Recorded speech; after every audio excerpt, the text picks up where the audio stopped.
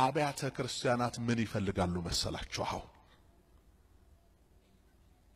እምነትና መንፈስ ቅዱስ የተሞሉ ሰዎች በቃ ይሄን ይፈል እኔ በየስፍራው ያየሁት ይሄ ነው። እምነት የሞላባቸው መንፈስ ቅዱስ የሞላባቸው ሰዎች ያስፈልጋሉ።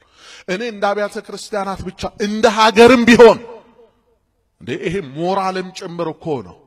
ተመልከቱ፣ ንግግራችንን ተመልከቱ። ሁሉ እኮ ተቆጥቷል። ሁሉ ይሰዳደባል። በተሽከርካሪ የሚሄደው መኪናውን ዝቅ አድርጎ ከኃላፊው ከአግዳሚው ጋር እግረኛውም እንደዛ ነው፣ ሌላውም እንደዛ ነው። በቃ ንግግር ንግግር ንግግሮቹ ደግሞ በጣም በቃ እንደው አረተው እየተበላሸ ያለ ነገር አለ፣ እየጠፋ ያለ ነገር አለ ያልገባን።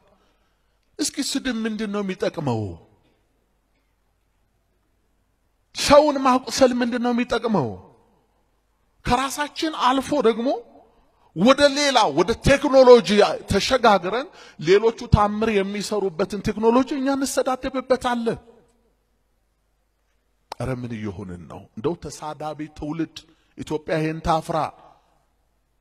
እንደ ሀገር ምድረ ሀበሻ እንደ አብያተ ክርስቲያናት የተቀደሱ ቦታዎች በቃ በስድብ ነው። ታላቅነት፣ ከፍታ፣ ሞራል እሺ የሚቀጥለውስ ትውልድ እባክህ ይቅርታ የሚባሉት እነዛ የትህትና ነገሮች ጨርሰው ጠፉ ከምድሪቷ ላይ። ችሎ ማለፍ ሽንፈት ሆነ። ዝም አይነቅ ዝም በተባለበት ማህበረሰብ ውስጥ ዛሬ የሚከበሩ ምላስ ያላቸው ከአፋቸው ሞት የሚወጣ ከአፋቸው እርኩሰት የሚወጣ በዛ ላይ ደግሞ ክርስቲያን ነኝ ባዮች። እረ እንዴት ነው የምንታረመው? እንዴት ነው የምንስተካከለው? እንዴት ነው? የተወደዳችሁ የእግዚአብሔር ልጆች ሁልጊዜ ንግግራችሁ በጨው እንደተቀመመ በምን ይሁን? በጥበብ ይሁን። ሁልጊዜ በጨው እንደተቀመመ በጥበብ ይሁን። መራርነት፣ ንዴት ከእናንተ እንዳይወጡ ደግሞ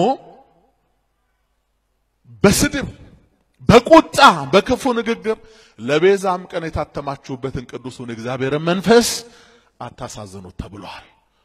እግዚአብሔር ሆይ ይቅርታ፣ በሰማይና በምድር ከአፋችን ስለወጡ ስለተበላሹ ሰውን ስለሚያረክሱት ነገሮች ይቅር በለን። እግዚአብሔር ታሪካችንን ይቀይርልን፣ አንደበታችንን ይለውጥልን። በቤቱም በምድሪቷም ሰው ያምጣ እግዚአብሔር እንደ ቅዱስ እስጢፋኖስ እምነትና መንፈስ ቅዱስ የተሞሉትን ሰዎች ያብዛልን እግዚአብሔር እግዚአብሔር